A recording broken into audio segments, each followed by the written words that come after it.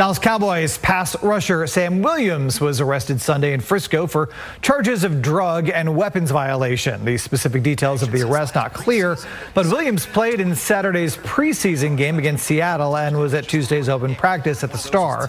According to TMZ, Frisco police booked Williams for possession of a controlled substance and unlawfully carrying a weapon. This is the second police incident involving Williams.